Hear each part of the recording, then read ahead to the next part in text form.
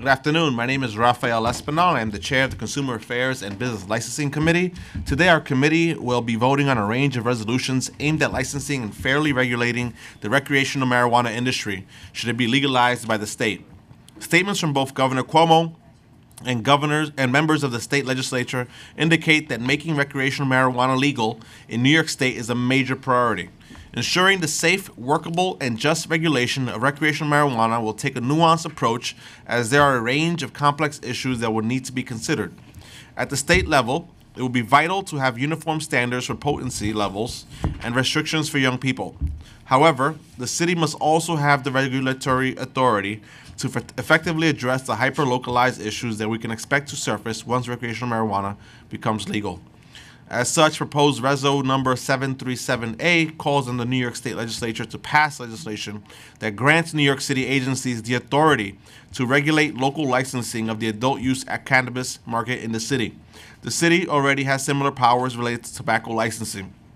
Despite the plethora of state laws that regulate tobacco and the, sa- and the sales across the state of New York, the city has the ability to license and restrict tobacco retailers. Using this authority and to prevent the concentration of tobacco retailers in particular neighborhoods, New York City has capped the number of tobacco and electronic cigarette retailer licenses according to each community district. Any New York state laws enacted to govern recreational marijuana should similarly empower the city's legislators to create specifically tailored rules and regulations. Consumer attitudes in the city differ from those in the other parts of the state. For example, here it is common for residents to use delivery services that are able to provide door to door delivery of everything from groceries, alcohol, and laundry to makeup services, chicken hatching eggs, and condoms. Proposed res- resolution number 734A, therefore, calls on the New York State Legislature to ensure that any law passed to legalize the market for the adult use of cannabis allows the city to enact its own regulatory measures on issues unique to its location, including the home delivery and cultivation of cannabis in New York City. Resolution number 738 calls on the New York State Legislature to pass and the governor to sign legislation prohibiting vertical integration and promoting small business growth in the recreational marijuana industry. This will prevent a single entity from controlling and owning each stage of the supply chain, because such monopolies can limit competition within an industry. With this authority, the city will create licenses for each stage within the supply chain, such as production, distribution, and retail, and limit the number of different licenses a single entity can obtain. This should prevent big market domination and open up opportunities for small entities, especially those affected by prior mar- marijuana criminalization. New York's black and brown communities have been disproportionate, disproportionately impacted by marijuana enforcement policies and the negative collateral effects that result from such policies. In order to begin to remedy the disproportionate, disproportionate burdens imposed by the war on drugs, New York City should be empowered by the state to regulate certain aspects of marijuana licensing. For example, if the state implemented the measures called for in proposed Reso number 741A, the city will be able to prioritize individuals with prior marijuana convictions when issuing licenses. This would be a first step in trying to rectify some of the past racial inequities that stem from marijuana criminalization. Communities targeted for marijuana enforcement often have less access to capital, legal and technical expertise, and affordable rental space to launch marijuana businesses. Therefore, Reso 744 calls on the legislature to pass and the governor to sign a bill that remedies this disparate burdens placed on people of color in the enforcement of marijuana prohibition by reinvesting tax revenue generated from legal marijuana in their communities and encouraging their participation in the legal marijuana industry. This will give priority licensing, legal and technical advice, and zero interest subsidized loans funded through the marijuana tax revenue to these affected individuals. New York City will undoubtedly face its own set of unique challenges if recreational marijuana is legalized by the state, and any effort to address them will have to balance the range of complex and competing residential, business, and consumer demands.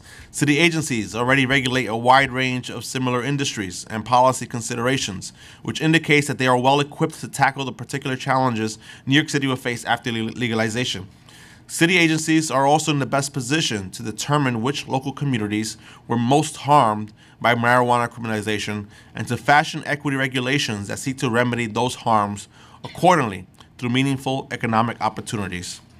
I, as the chair, recommend a yes vote. Uh, Mr. Clerk, can you please call the roll? William Martin, Committee Clerk, roll call vote, Committee on Consumer Affairs and Business Licensing. All items are coupled. Chair Espinal. I vote aye. Chin. Uh, Permission to explain my vote?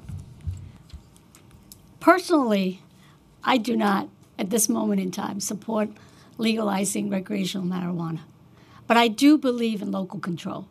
And I do believe what the resolution, you know, sets forth, that if it is legalized by the state, that I do want to make sure that New York City, we have the control over how it's being implemented. Uh, So for that reason, uh, I vote aye on all. Thank you. Koo. Mr. Chair, may I explain my vote? Yes. Yeah, all these resolutions, uh, I will oppose, uh, I vote no, uh, because, uh, like, uh, I think marijuana is a gateway drug. Yeah, if you, if you legalize it, you will just encourage more people, uh, smoking pot. And my community, uh, it, uh, we receive a lot of calls from parents, uh, from neighborhood business people, from residents. They all said uh, vote no on this uh, resolution. And that's why uh, I hope the state will vote no too. Yeah, thank you.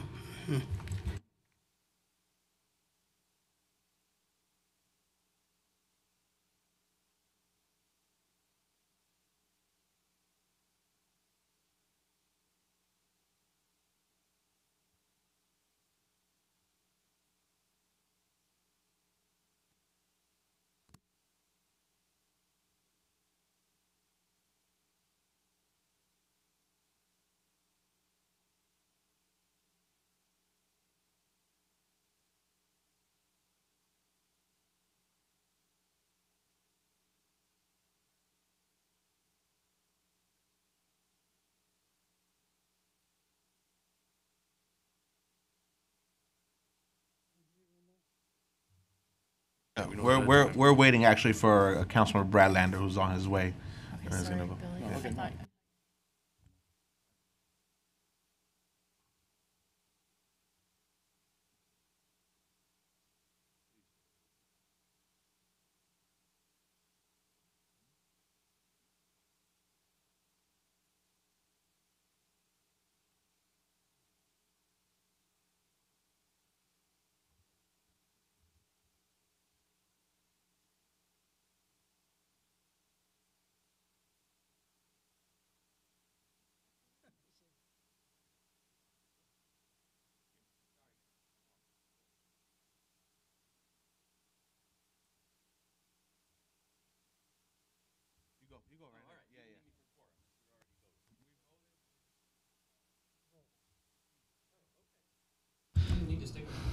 Councilmember Lander.